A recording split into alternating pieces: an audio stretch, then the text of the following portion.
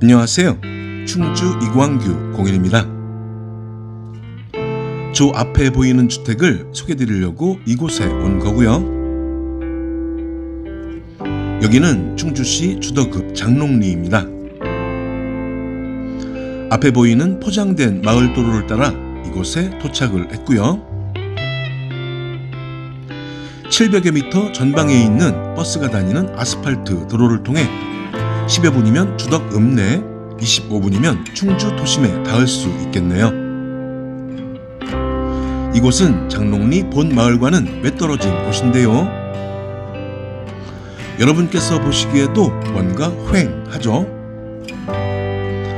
전원주택의 장점일런지 단점일런지는 입주자의 취향 나름이겠죠. 보시는 것처럼 앞에는 세 채의 전원주택이 있는데요. 세 채는 대지 면적과 건축 면적, 내부 구조와 매매가가 각각 다릅니다.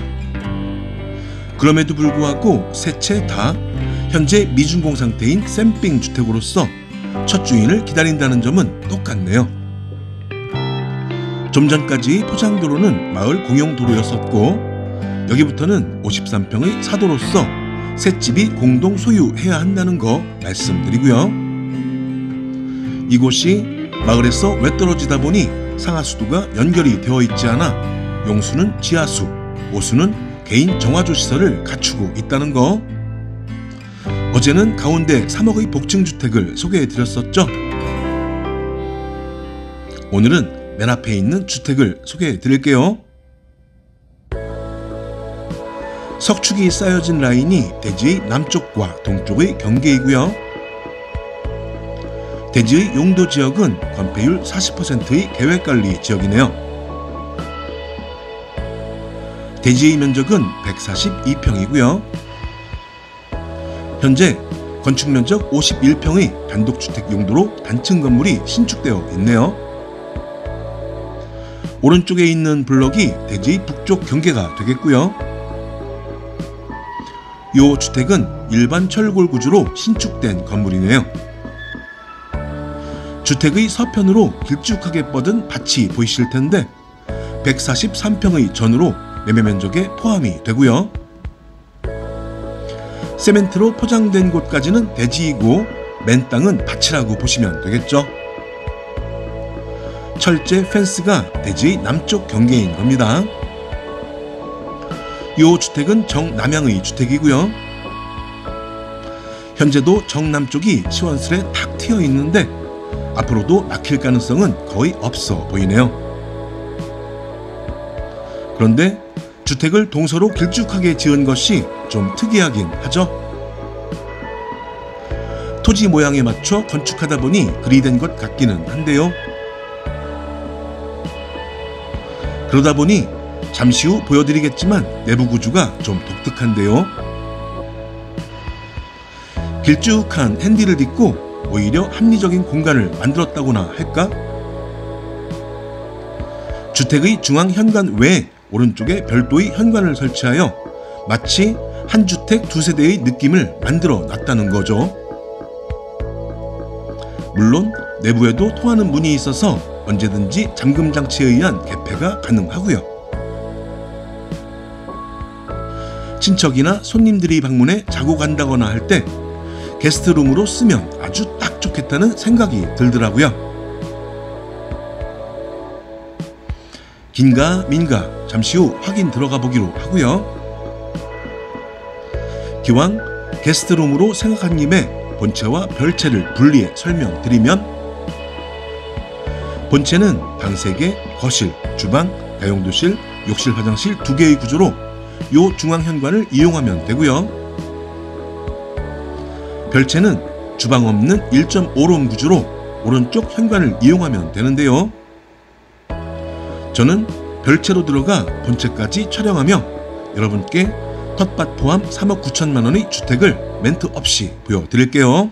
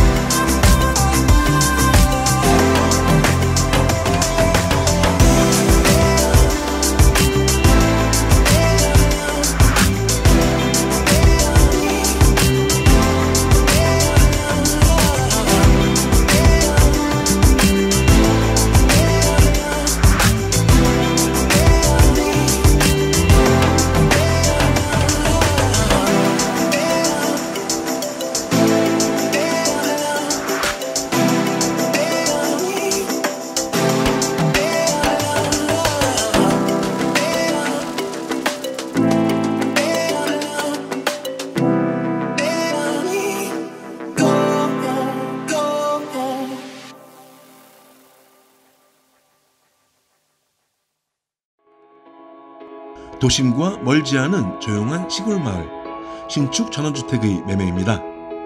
충주시 주덕읍 장롱리 마을과 외떨어진 곳에 위치하고요. 세멘트 포장도로에 접한 부정형 평지형의 계획관리 지역이네요. 대지 142평과 텃밭 143평에 신축 단층 주택 51평이 있습니다. 일반 철골 구조에 내부 고급 자재 마감으로 방 4개, 화장실 3개 구조이고요. 용수는 지하수, 난방은 LPG, 취사는 전기 인덕션을 사용 중이네요. 토지 가격과 건축비를 감안한 매매가는 3억 9천만 원입니다. 지금까지 공인중개사 이광규였고요. 고객 만족을 위해 1년 350일 최선을 다하는 공인중개사입니다. 충주시와 충주권역 부동산에 관한 모든 상담을 해드리고 있어요. 토지, 주택, 아파트, 원룸, 빌딩, 공장, 창고 등 매매 및 임대에 관해 전화, 문자, 카톡 주시면 정직과 성실로 신뢰를 다하겠습니다.